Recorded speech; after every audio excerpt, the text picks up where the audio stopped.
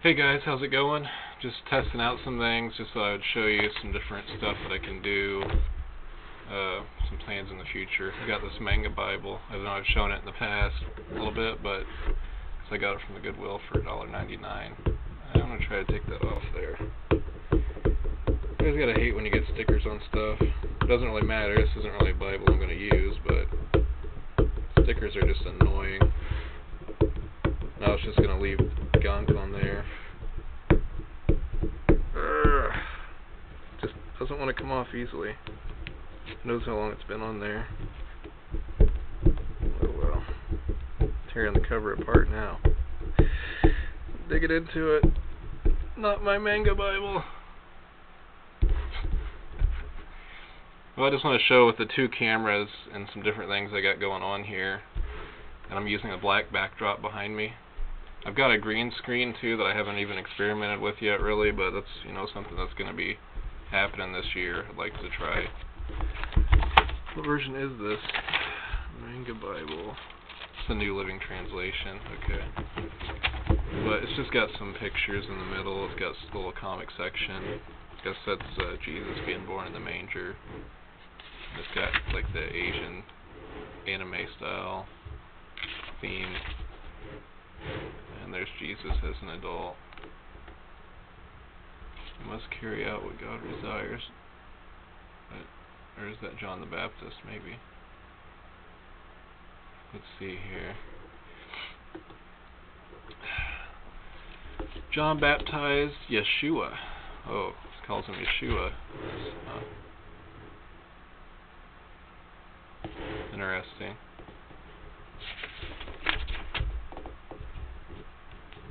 Keep on asking and you will receive what you ask for.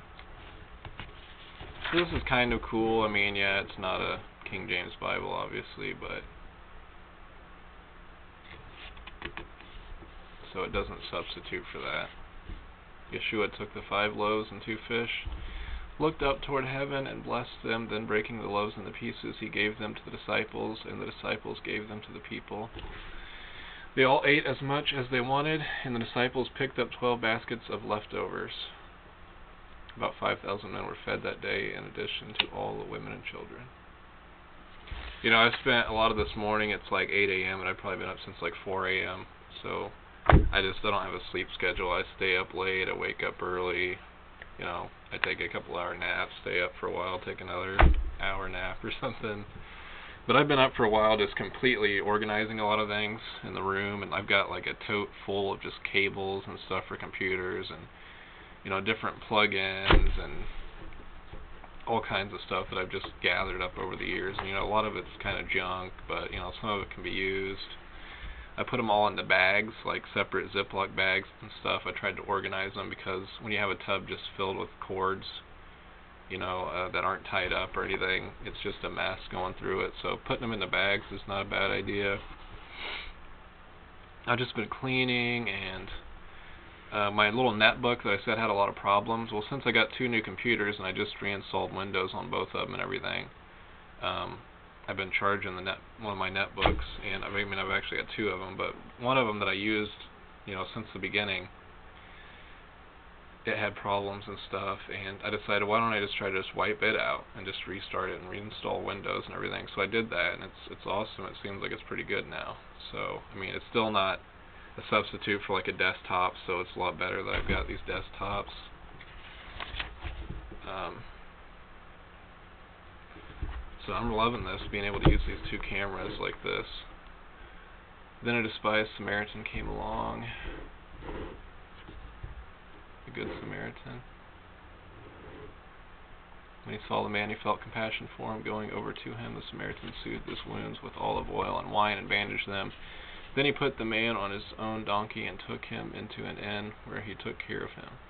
So I'm somebody who thinks, you know, you really got to be organized. For me, I got to be organized. Not everybody does. People can. There's some people that can work, you know, in a mess and stuff. But I'm trying to get all my ducks in a row and everything on the website, you know, in my apartment, and just you know I had to dust off my bookshelf. It, you know I think it's been dusty since they did the floor in the kitchen like last summer, and you know if I didn't clean it by then, at least it, it gathered more dust anyway. So it was just really dusty. I mean, it still needs clean better, but just stuff like that.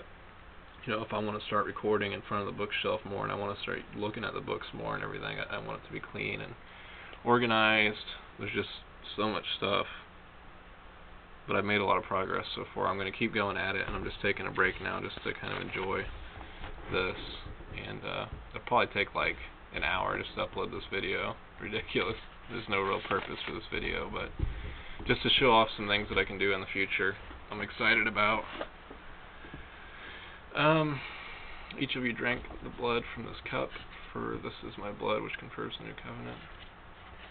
So this is, uh, that was the Last Supper, and that goes to crucifixion. So basically, this covers the when Jesus was resurrected. It's basically they got the story of Jesus in the anime comic. I guess it ends there. It doesn't go into like Paul or anything, but yeah, it's pretty much the gospel.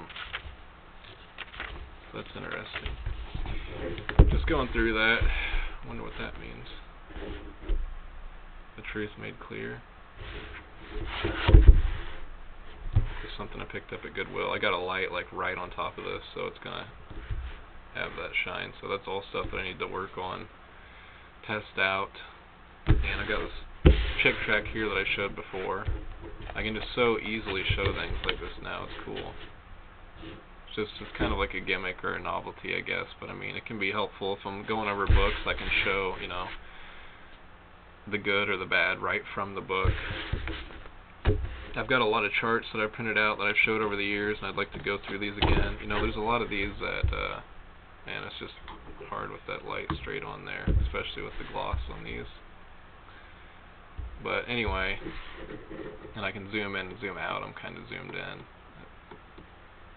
It doesn't. Anyway, this is a chart of the Feast of Leviticus. You know, I've got this uh, laminated. But I have some on, you know, futurism and stuff. I'd like to go over those, you know, because starting out, I thought, you know, all these charts are going to be helpful. But obviously there's stuff that I don't agree with now. The Antichrist, the Man of Sin, the Beast of Revelation, chapter 13 to 17. B Middletown Bible Church has a lot of charts like this. Know, some of these are really good charts. Uh, Armageddon prophecies, that's more futurist stuff. God's history, past and future of the nation nation of Israel, that would be, you know, dispensationalism stuff The harmony of prophecy, again, dispensationalism. The covenants. Okay. Which, you know, I want to look at this more. This is obviously, you know, I'm more of a covenant theologian, I guess. I'm not a theologian, I guess. I believe in covenant theology, whatever. But that would be something good to look at.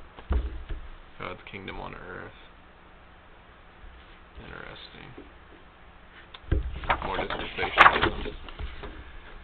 Now this is a really good chart. Stuff like this. This is just a list of the parables. All the parables of Jesus. And it's interesting that there's only like a couple in John that it lists. But you can see how, you know, you got the you can contrast the parables in the different gospels. Now this is a great tool. That's awesome The prophets of the Old Testament, you know, stuff like this is great, you know. It's got to be pretty biblical, bibli biblically accurate, let's say. Daniel 70 weeks, dispensationalism. Creation, it's interesting.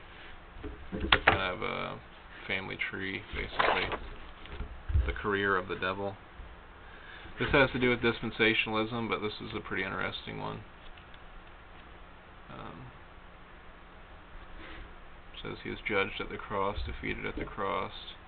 You know, it's all the act. It's kind of like recorded the activity of Satan through the Bible. General survey of prophetic events. Be more dispensationalism. The gospel and the Bible. Now that's that's a good one. Finding the gospel in the Old Testament and stuff. dispensations straight up.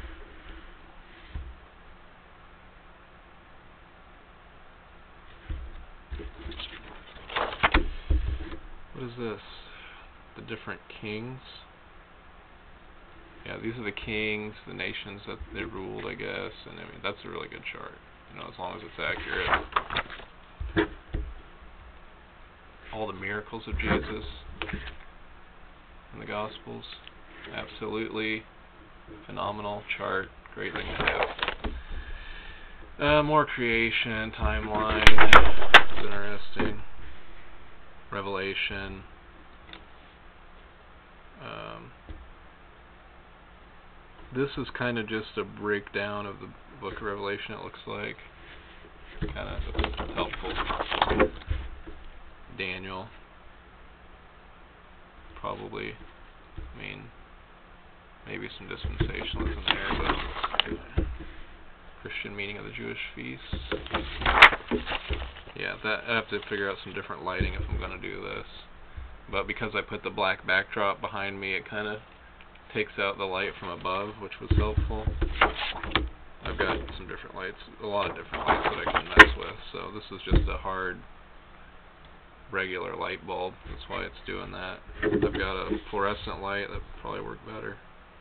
I don't even know how the sound is getting recorded, if it's being recorded good or not. But the stuff I want to go over with, whether in video or not, that I just need to go over with again for part of the studies. There's just so much stuff, but I think that once I get on a roll, I can go through it, you know. Here's my Bible.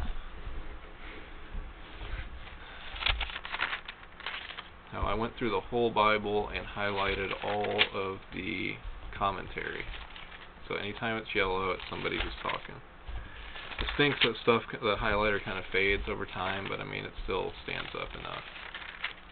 And all of the blue in the New Testament here is commandments, like be of the same mind, recompense to no man evil, think soberly. These are all things that like it's telling you to do. Be not conformed to this world. So it's um, the pink is prayer, rejoicing in hope, patient in tribulation, continuing instant in prayer.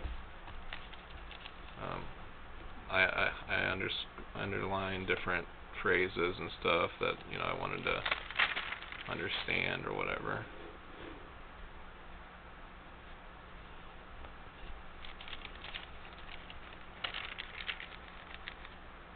Places are in the orange.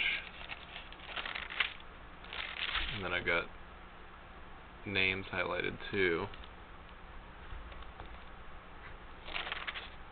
Looks like. Speak the same thing. Be perfectly joined together in the same mind and in the same judgment. So this is cool if I do like a Bible run through or just anything, just going through the scriptures, just you know, I can do commentary, I can have the Bible right here, my Bible. You can see what I'm reading. You can see my chewed up fingers, fingernails. Flee fornication. Every sin that a man doeth is without the body, but he that committeth fornication sinneth against his own body.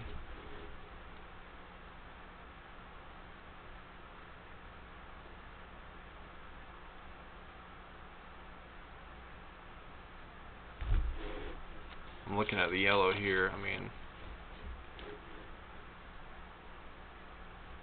the yellow and. um, the epistles I might have done differently because that's not really, you know, the whole thing is like commentary or whatever, like Paul's writing and talking the whole time. But I think I got the questions. Obviously, it looks like all these are questions, rhetorical questions or whatever that Paul asks.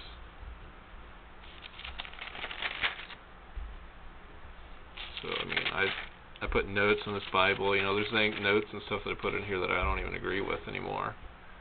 But you know, it's still all helpful. But I love this Bible. I want to keep this as long as I can. This is the Bible that my mom gave me. And I was very blessed at the Goodwill. I found this case that it's. I mean, it's not even a Bible case. I don't. I don't know what it is, but it works perfectly for it. You see, I've got charts at the beginning of my Bible that I printed out that I put on there too. This is like a chart of the preservement of the New Testament, you know, the King James only stuff. And I've got like a dispensation thing over here too, which I wouldn't agree with anymore, but it's still an interesting, helpful chart. Different, uh, the Trinity and attributes of God, some simple stuff. I've got some highlighters over here. Two zoom. I don't think I can't zoom out anymore, but I can pull the camera back. I can pull it up as I want, but it might not be easy to read. Well, it's still good. So, um, the words of Job were ended. Like in Job, uh, let's see. Since a lot of this is commentary, I think that I kind of went around the places that weren't commentary, or you know that weren't dialogue. I, I kept saying commentary. I mean dialogue, I guess. I highlighted all the dialogue in the Old Testament, and here there's so much dialogue in the Book of Job that I instead I just did the commentary parts. Yeah, I don't even know what I'm talking about. And it's interesting. In some of these, like like you saw in Daniel, I highlighted so much because there's so much dialogue. I mean, look at this in Deuteronomy. Dialogue. Just whole pages are highlighted. Didn't have to do that, but that was just, you know. I started doing the dialogue in Genesis, and then when I got to Exodus, I started doing it, and there's so much of it, and I'm like, oh well, let's just go through with it. Let's just highlight it all.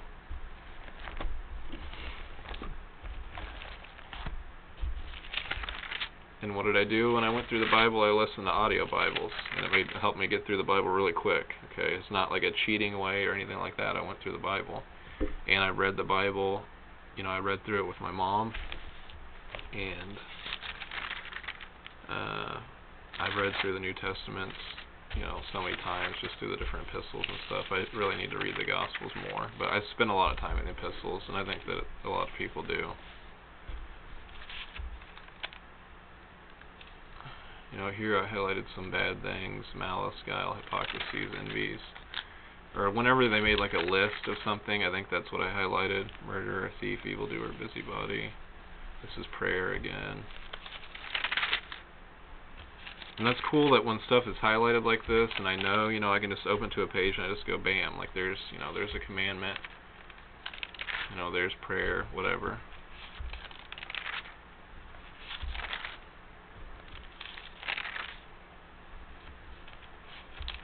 Know, this is something with dispensationalism, with futurism. This has to do with the Antichrist. So some of the stuff that has to do with Satan or the Antichrist, I boxed in in a certain, uh, you know, and then people would say that this is like a rapture passage, something like that. Revelation. A Revelation has all kinds of I got the different, you know, the vials, the first, the second, the third. These are all boxed separately, divided up. So that's that. I mean, it's going through my Bible a little bit, and I've got a lot of bookmarks in the back that I've. Uh, the Bible came with a map, which is cool. It came with some pictures in it too that I cut out. But I got some more dispensational charts and stuff. I've got like a numerology thing back here.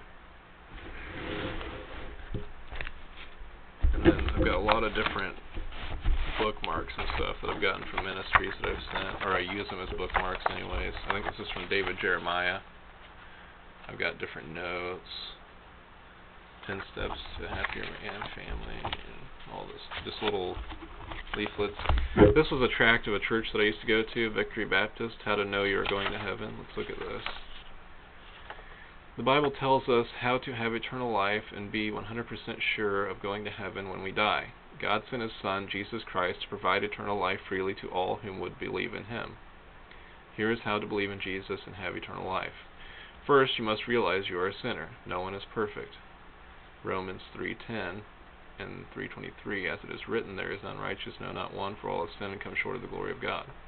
So first you must realize that you're a sinner, no one is perfect.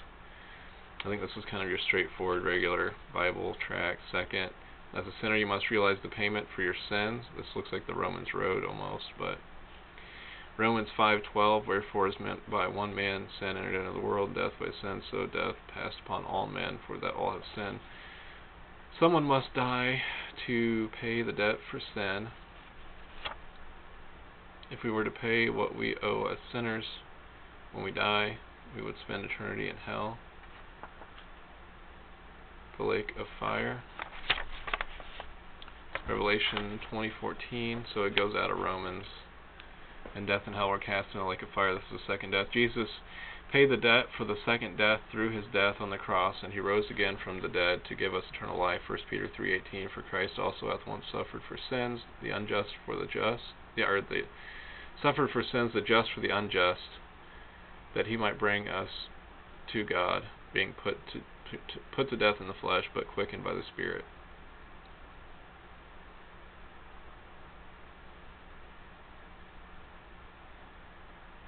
Third, you must believe Jesus' death on the cross was in your place to pay for your sin payment.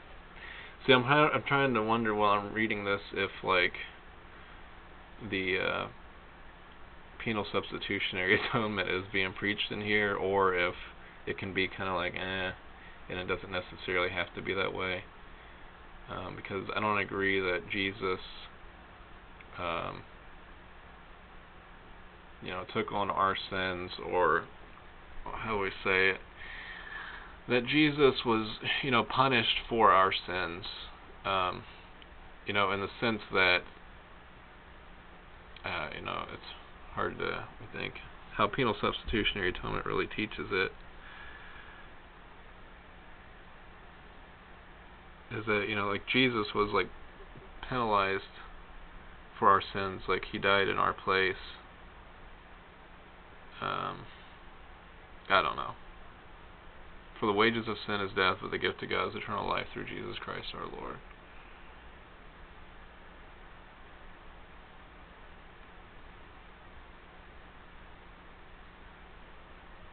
It's like that Jesus was punished for our sins.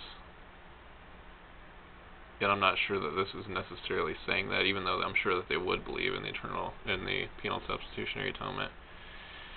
2 Corinthians 5:21 for he hath made him to be sin for us who knew no sin, that we might be made the righteousness of God in him. Fourth, you must believe that Jesus, believe what Jesus did for you on the cross by faith alone to have eternal life.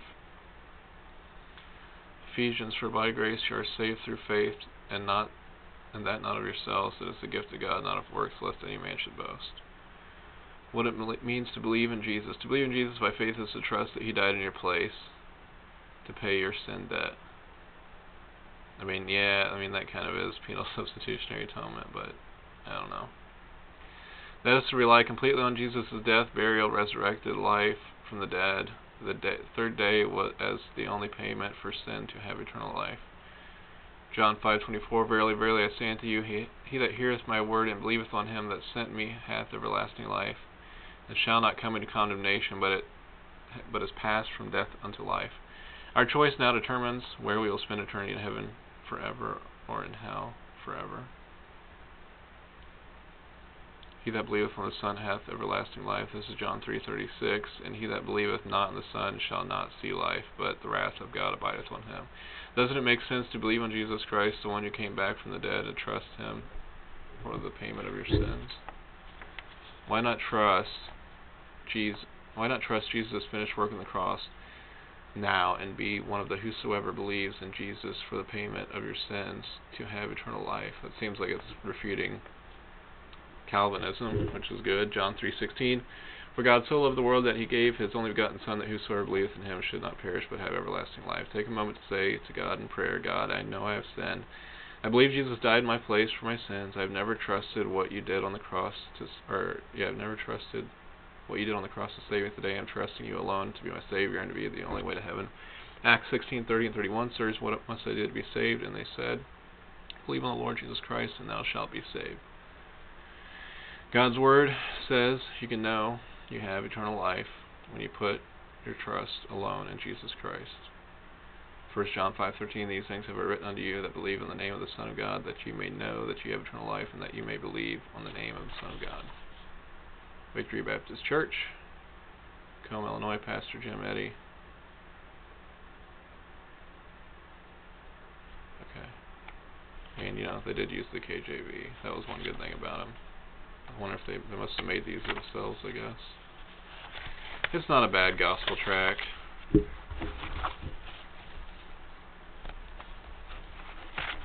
So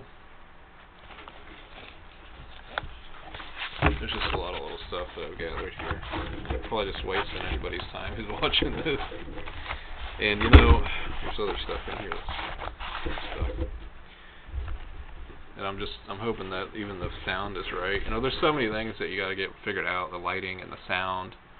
And like for some reason the sound might not sound right, too loud or it's too quiet or there's some buzzing noise going on or this or that and you got to figure everything out. Is it something on the computer that you can mess with, you know, like the the settings or is it like the chords or this or that or the other? Oh, it's never ending. I've got a lot of other little pamphlets and stuff that I've gathered over the years and magazines that I've wanted to go over. That would be great for this uh using, you know, the camera like this. I think this has probably gone on long enough. So, I'm just showing some different stuff that I can do, having some fun with this, and, you know, hopefully this year there will be a lot of great uses of this. So, thanks for all your support, guys, and all your prayers and everything. God bless.